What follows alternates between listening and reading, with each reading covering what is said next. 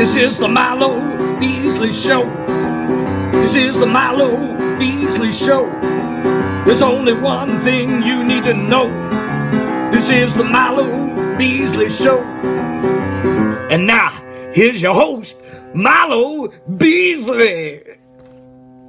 And welcome to the Milo Beasley Show. Do, do, do, do. Episode number 359. Uh, Halloween fans, Hocus Pocus fans, I know you'll be happy uh, for this week's episode. So please help me welcome at this time. You may remember him as the mortal bus boy. Please help me welcome Don Yesso. How are you doing? Just fine, man. Just fine. Listen, I'm uh if I seem I don't know where to look, this is my first podcast, so uh, you may have to forgive me.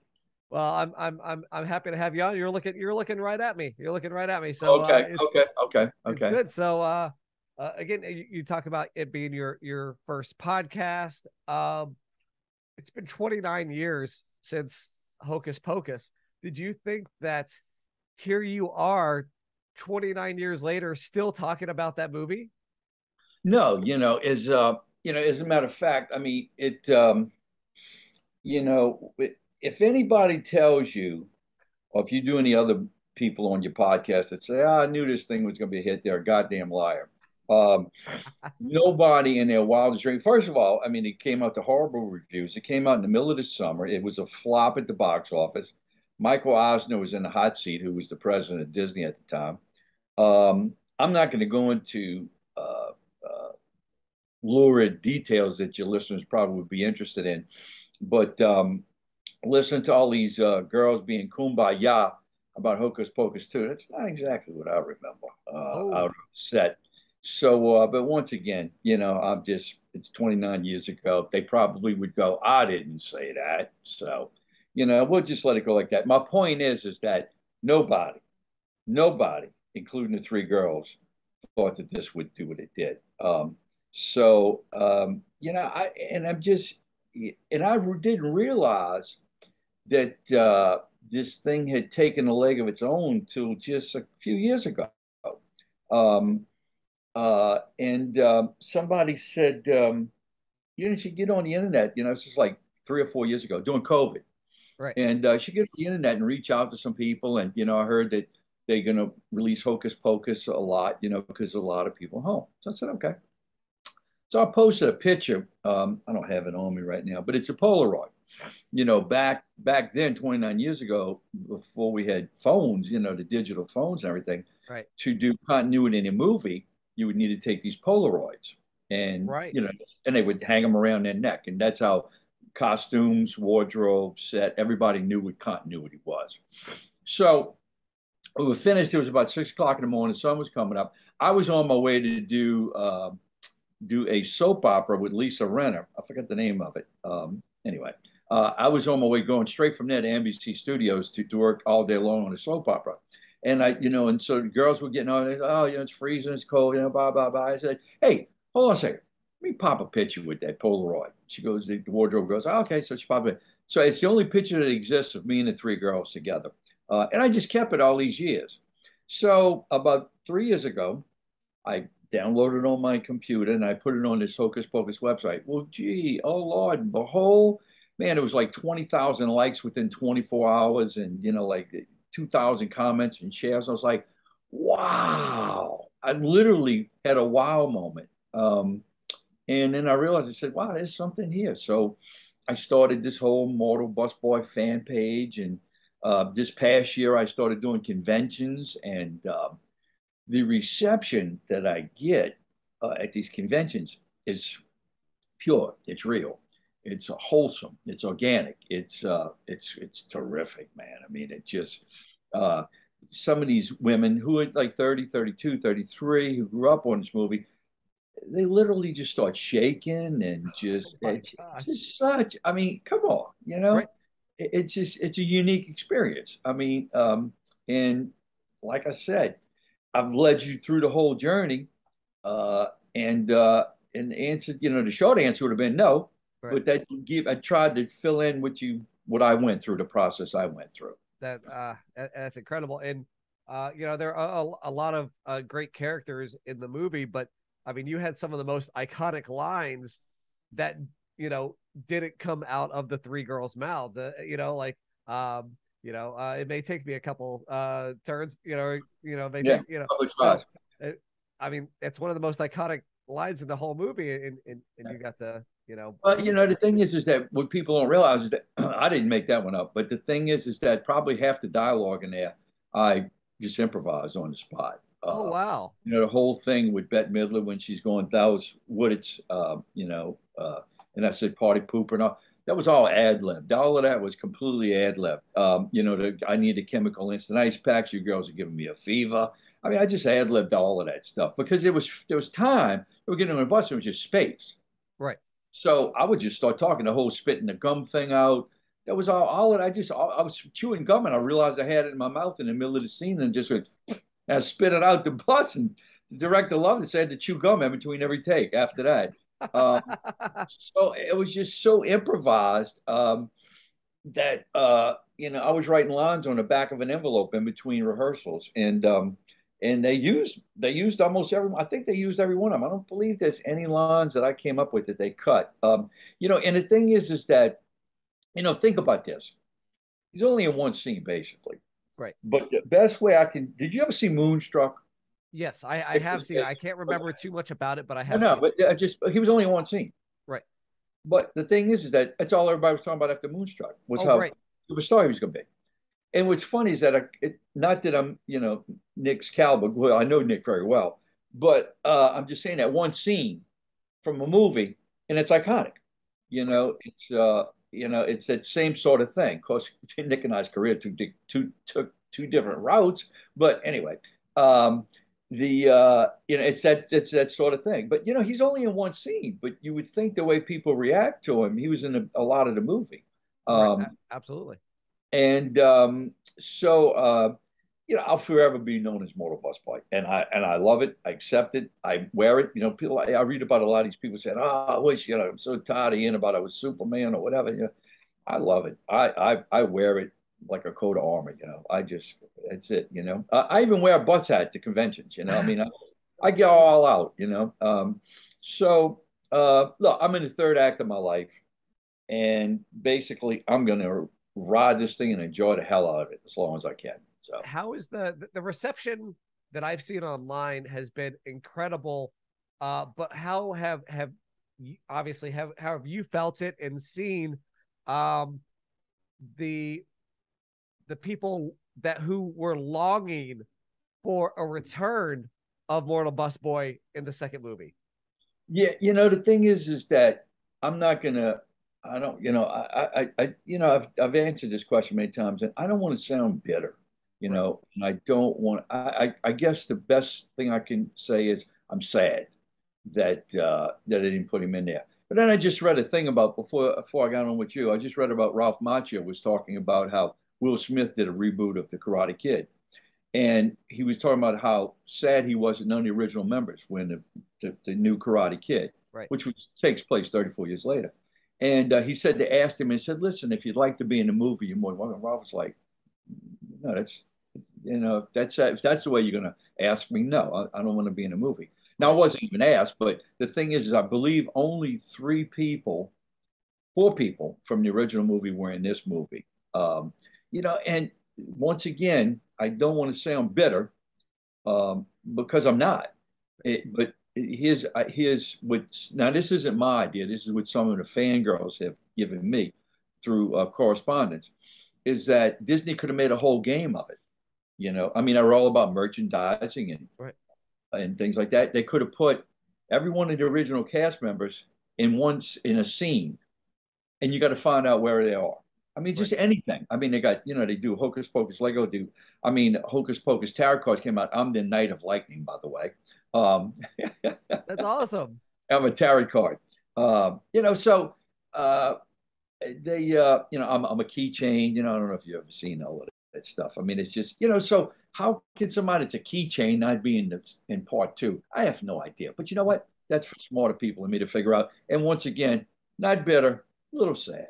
But but the the rec- the reception, the the people that were actually clamoring for you, that has to make you feel a little bit good. Oh, absolutely. No, no, no. That's what I'm saying. Is that this? It's a moral victory after a loss. Put it that way. Right. It's uh, you know, it's like we played hard. Listen, they started a petition for me uh, online. They sent, and I know it was sent to the director, and um, there was just crickets from him. You know, I reached out to him several times, even when I realized I wasn't in the movie. I was in Salem while they were filming the movie, and he said he was in Salem. I said, "Hey, listen, if you'd like to have a drink, I'll be up there for a week." Never heard from him.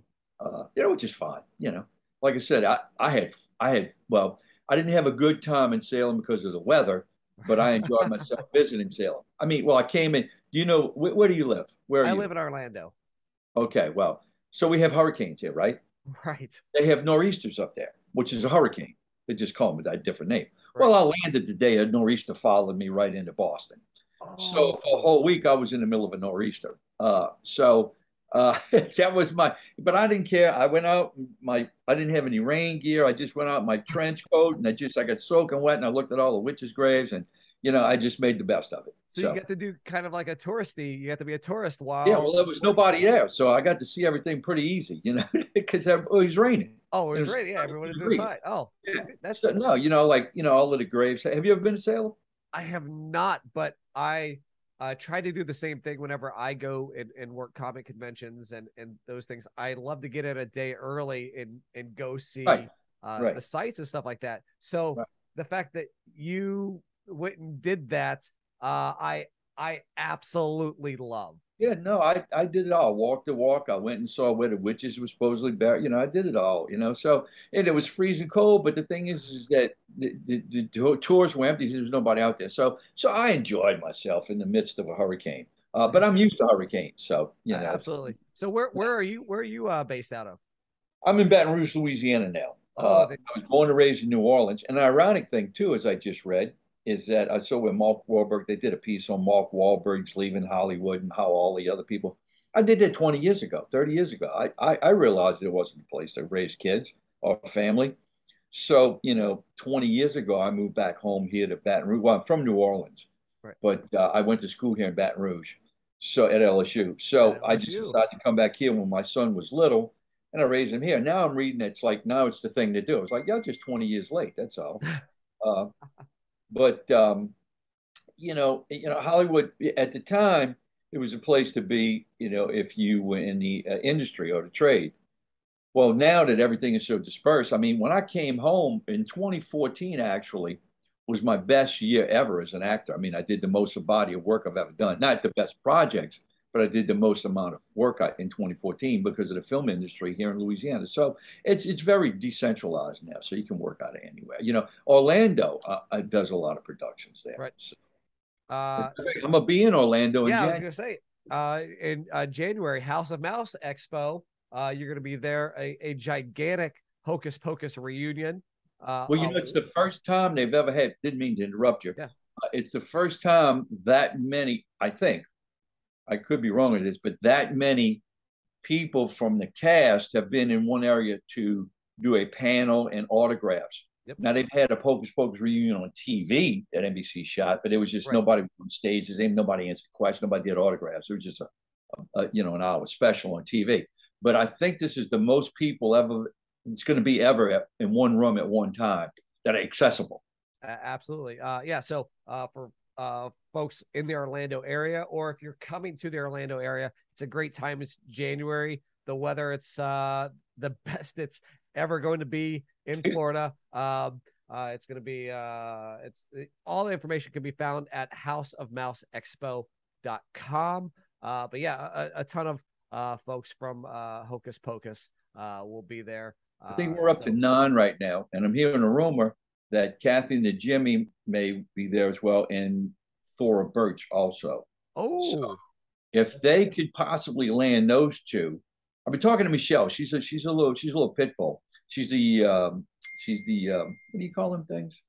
Not the creator, the not the organizer, the uh, promoter. oh she's yeah, the prom- yeah. And um, I told her, I said, you know, if you if you land those two, there's a shot, a small shot. If you play your cards right and come up with a nice charity for Sarah Jessica, she'd probably show up. She probably wouldn't do autographs, but she might just show up. But yeah, uh, uh, Jason Marsden, uh, who is uh, Right. Thackery Binx, Vanessa Shaw, uh, Correct. Omri Katz, um, uh, Larry Bagby is going to be Right. there. Uh, uh, Doug Jones is going to be there. So it's going to be a ton of people. So Hocus Pocus fans, uh, Orlando fans, you have to be uh, at House of Mouse. And also, too, uh, I from what I understand, the VIP tickets are almost sold out. Expecting fifty thousand people.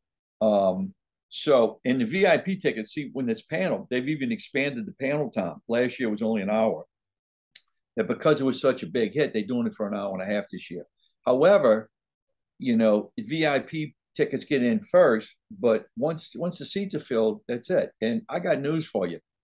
They're going to be a lot more people standing outside than inside because right. I think this thing is going to be huge. I really do. I I um and I I don't even know why I'm saying that. I just got a feeling that just uh it's being you know most of these conventions that I go to are, are labeled as uh horror conventions and stuff like that. When people find out of that, they freak out. Well, now that people know the Hocus Pocus gonna people gonna be in, and that's the reason why they're coming. Right. I just got a funny feeling this thing is just gonna be nuts. Absolutely. Now, Are you gonna uh, be there? do what? Are you gonna be there? I actually have another uh, convention. Oh uh, wow! same weekend. Uh, it's breaking my heart uh, that I won't be there. There's a, a, a lot of other uh, great guests going to be there. Uh, uh, a, a good friend of mine, uh, Barry Gibbs, uh, is going to be there, and of course, I, I love uh, I love uh, Jason Marsden. He's great. Uh, Irene Bedard, the voice of Pocahontas. Brett Right. The voice of Mickey Mouse, all going to be there. Uh, it's good. That's it's it's definitely going to be a fun time, and I'm heartbroken. I'm going to be missing it, but I will be having uh, a ton of fun at my show as well. So, uh, But which, what show you going to that you're missing this for?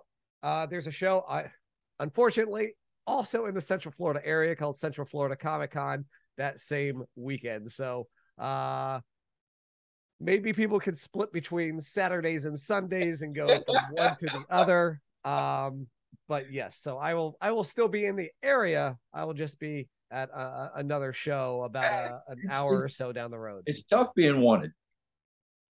you know, every once in a while, uh, these uh, these shows end up uh, crossing paths, and uh, it's uh, you know I have to make choices. But uh, I'm sure the same thing happens happens to you. And I, I do have a question about conventions, and that is when you were there and, and people are there to see you uh, for Hocus Pocus. Do they look at your banner or look at your eight by tens and, and go, "Wait a minute, I I do remember you from Fantastic Four, or I I do remember you from uh from Days of Our Lives. I do remember you from Bad Countries. Do, do you get that response as well? Not not much because uh, to be honest with you, I, I mean, if I'm, I'm just being perfectly honest with you. Once they realize I'm Mortal Bus Boy, it's like they go blank. It's like a vapor lock. That's all they can think about, you know. And um, you know they'll go like, "I mean, what else you been? At? Oh, let's, I mean, what was it like with Sarah Jessica? You know, it's like they can't get their questions out fast enough. Right. and uh, it's um, you know it, it's funny and some people go have you done anything else Right. Like, yeah i've done 58 films but other than that not much. Uh, Uh, now, do you um you've done uh television, you've done stage, you've done soap opera, you've done movies. Do you have a a particular genre that you enjoy doing more than than the others? actually you know I, I enjoyed the stage immensely um, You know, I- I do want to say, uh, anytime I ask that question, uh, I would say ninety percent of people who have done stage say that they enjoy Really? stage. well you know the thing is is that is that uh, you get the instant gratification from the audience and the thing is is that uh, i don't know there's a certain connection and you have to you can't mail it in because you have to talk to the last row you know? No matter how many people in the theater you got to talk to the back row. So you can't just walk in there and just say ah, blah, blah, blah, blah, mumble your lines. You got to really get into it. So it, it makes you uh it makes you adrenaline kicking that's the best way i can describe it. Problem is, is there's no money in it and there's no real good venues unless you're in new york. Right. so um that's the only downside of it you know like uh you know, I'm not sure sure after being on Broadway if I get the same sort of juice from playing the Baton Rouge Little Theater. So, Is- but uh, you know, stage is a stage. Uh, and, but you know, the thing is, though, is that and the, and the play's got to be right. Um, of course. you know, um, so you know, I, I I've been blessed with the, the few times I've been on stage. I've had some really great characters to play, so I, I was blessed with that. But I would probably say uh, second would be I actually enjoy TV more than films. Okay. Yeah, it seems that it um, it's it's not the same uh, monotonous do 34 takes on a on a on a right. uh, on a scene, you know, because you're on a time constraint. So you either nail it or you don't. So it forces you to be on your toes a little bit more.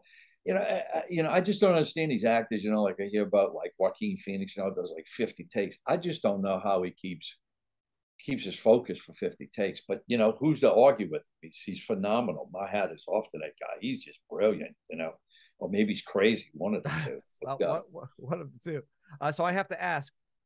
I mean, you you're in incredible shape. You still got that six pack going on down there? Yeah. yes, I do. Yes, I do. I, and I'm not going to be humble about about it. Yes. Uh, what you, so what do you do? I mean, look, what do you do to to stay to stay in shape? You know, the thing is, is that now once again, I'm not going to be humble. I get asked that question every day, every single day. I got guys your age coming up to me in the gym every day. I had two guys come up to me today and ask me in the gym.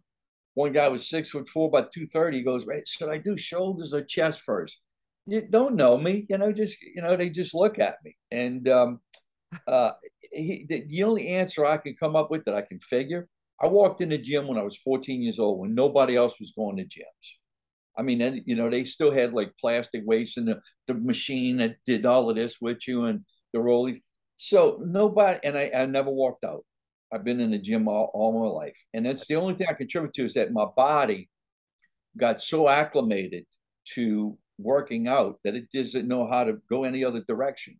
So I, I, don't know. I, for lack of a better answer, I don't even know if that's right, but you know, I was a personal trainer before there was ever such a thing as a personal trainer, before it was right. even a You know, you, you have guys come up to him and go, Hey, can you show me how to do this? Well, that's what a personal trainer does, you know, and that was 40 years ago.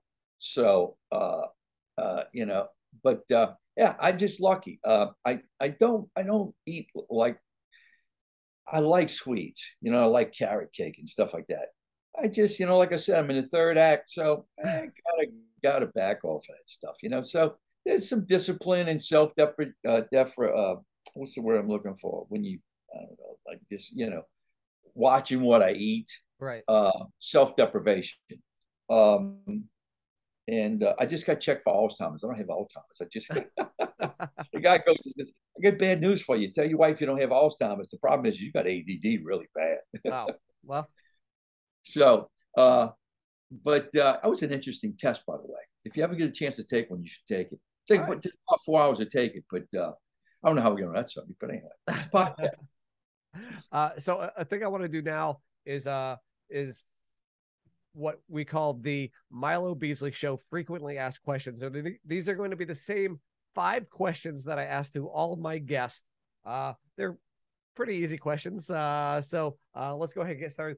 Uh, question number one What was the first concert you ever attended? I was really fortunate because we had a thing called the warehouse in New Orleans. And the guy who promoted was a promoter would get all these great bands in there. And it was just happening, you know, no, no other place but New Orleans had this. So I used to go see concerts all the time. And I'm trying to think of the first one I ever went to. I'm going to say probably. Do you remember a band called Humble Pie? I do. I think that was the first one I've ever been to. That's a cool concert to go to. And, and uh, yeah, I mean they weren't known at the time, right? But it that's was the be- uh, that's the best part about it. Yeah, you, none most of these bands weren't known. I mean, I think I've seen like uh, I, I sat on the stage with Robin Trower because uh, there was nobody else in the concert, so I just jumped up on the stage and just at the end and just listen to Robin Trower play. Now you know these people that are all dead that you, you, you probably uh, your listeners don't know who they are, but um, you know I saw Led Zeppelin three times, uh, Alice Cooper four times, uh, Grand Funk Railroad. I don't know if you remember them. Um, I do. Uh, when they were huge, I saw them in like a gym, a, a high school gymnasium. They played at a gymnasium. So you know, and I mean, they went on to just have the, all of these huge records. Um, so the guy, the Don Fox was his name, was a promoter, and he discovered ZZ Top, and he, he so he had the opportunity to bring a lot of these unknown bands into New Orleans. So I got to see a lot of things. I think it was Humble Pie, and I went on with somebody else, but I can't remember who it was. That's great. Uh, question number two: Do you believe in ghosts? No. No. Ooh, a lot of people on the on the show say that they that they do or they believe something is out there. So it's uh it's it's refreshing to hear somebody just Well, I, I don't talk religion or politics, so let's leave it at that. All right. Well, we'll leave it at that. Uh, question number three in a twist on a common question, in a story about your life, who would have played your parents? Got to be the Costanzas. George I love it. ah, I love it. Ah, I don't. I don't even know if anybody remembers him from Seinfeld. I, I, yeah, I mean, they're just, uh, yeah, George's parents are, God, Right. what a great answer. What a great Yeah. answer. Uh, question number four Who was your first celebrity crush? I know who it is. I'm trying to remember her name. She played. She played Gidget, uh, in like Bridget Goes to Hawaii or Bridget Goes to Orlando. Uh, she, Sandra Day. Oh, Sandra Dee Sandra Day. Good one, I think she too. was, was she Gidget? She was Gidget, right? I think sounds that sounds familiar. Sounds familiar, doesn't it? She was with Bobby Darin or maybe one of. Yes. Yes. Okay. 1959. Yeah. Okay. That, yeah, that's right. Because I was, I'd go to the happy hour theater and watch all these double features, and I just sit there and go, God, I wish she was my girlfriend. and then uh, our last question, question number five. Uh, it's it's definitely one that I always enjoy asking, especially people in the entertainment industry. And that has there been a moment where you were uh, in on studio on set um, filming where you fanboyed out and you saw somebody who you you tried speaking to and the words couldn't come out of your mouth or you couldn't stop talking you know and you you made a fool out of yourself has did any any of those moments uh with with any other celebrities or actors or singers Yeah, it's it, it's happened a couple of times. Uh, you know, if you if you want to hear the instance, first with absolutely Sylvester Stallone when I worked with Sylvester Stallone, and uh, we worked on Bullet to the Head. So you know, I was sitting outside the bar where we were working, and here comes Rocky. I mean, Rocky. I mean, Jesus, yeah. how many eggs I ate for Rocky and running to that music, you know, when I was in college. So he sits down. Here's my mom. We in the scene together, but you know, we didn't. There wasn't much talk. He's very quiet. And uh, I said, "Well, here's my moment." Well, I start talking to him, and about five minutes later, he turns around like this. I don't know if you can see me. Yeah. Takes his hand, pats me on the back, goes, "Hey, you know what? You talk a lot." And he goes to get up. I said, "You know what, pal? You stay there. You were here first. I'm leaving. Fuck you." And I walked off. And uh, so, you know, but I guess I was so excited to meet him, I just was just like had diarrhea of the mouth. Right. And the other time was I was uh, speechless. It's just the opposite. I did a movie called Blast from the Past with Christopher Walken. yes Here's here's a God, it's larger than life, right? I mean, just I tried to imitate talking like him. It's impossible. And uh, he was so we were going through the buffet line at work and uh, in between the scenes. And um, I said, "Man, Mr. Walken," I said, "I'm just a huge fan of yours." He and he just looks at me, and he stares at me, and he turns to the food and he goes, "Tuna fish," and he walks off. And I'm like, "The fuck am I supposed to do with that?" I just told the guy I was a huge fan of. He tells me tuna fish. I was I didn't know what to say. I, I mean, I didn't even make eye contact with the guy for the rest of the week.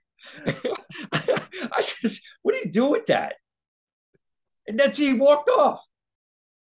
it's now my goal to somehow incorporate that into a conversation in my lifetime Yeah. Ah, I mean, it's just, you know, you just, so that, that was, that was the two, you know, probably, you know, and, it, you know, I've got a chance to work with a lot of women, you know, I just, uh, you know, I don't know if you remember the first Top Gun when it, when it came out. Um, remember Kelly McGillis? She yeah, played do, Charlie. of course So I was doing my very first TV series called Frank's Place, and we were shooting at uh, at Culver City Studios. And uh, she was, you know, Top Gun was in our movie theaters playing. Well, she was on set. She was doing this movie called Winter People, horrible film, by the way, with Kurt Russell. So she's in the cafeteria. So I walk on up to her. I mean, I've been in Hollywood maybe three months, and here's Charlie walking down the line. right And I said, so we get to the cashier and she had a fried egg sandwich. I said, I said, put my food on in that whatever she's got. And I didn't even look at her. And I paid for it. And um, I walked off, trying to be as cool as a cucumber. Of course.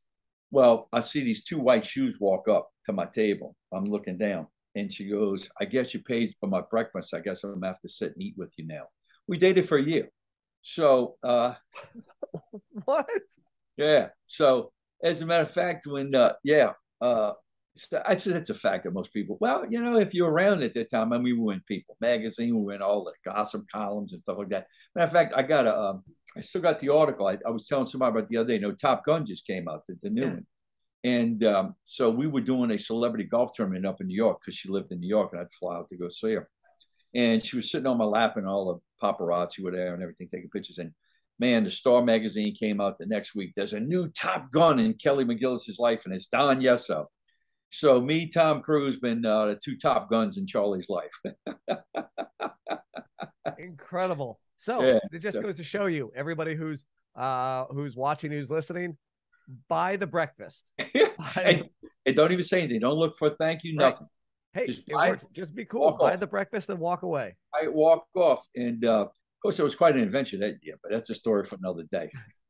But, well, that's uh, going to be about our time. Um, I had oh, so okay. much fun. Uh, I would absolutely love to do it again. But for uh, for folks who want to follow you on social medias, uh, find out where you're going to be. Uh, where where can folks find you at? I'm on. Uh, I think on Instagram, just on Don Yes. You plug that in, and if you go to um, uh, Mortal Bus Boy uh, on Facebook, I'm also on Facebook on the Mortal Bus Boy or Don Yesso Bus Driver.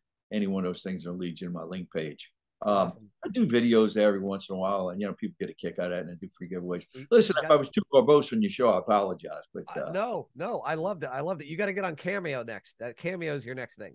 You know, uh, well, I don't want to take up any more of your time, but people have been telling me for five years. I have no idea. So, all right. Well, thank you so much for hanging out with me today. Uh, I I absolutely enjoyed myself. And again, houseofmouseexpo.com. Uh, uh, Don will be there along with many other Hocus Pocus guests. Thank you all for watching, listening, wherever you are. And uh, we'll see you. Am I interrupting you again? Yes, yep. I am. Yes, I am. But I got something I wanted to tell you. All right. I'll tell you something. I've done, you know, the talk shows get gauntlet. Okay. I've been interviewed by everybody, including Johnny Carson three times. Okay. And I'm gonna tell you what, you're very good at your job. That's all I want to say. Thank you. Very that's very humbling. Thank you so much. Uh,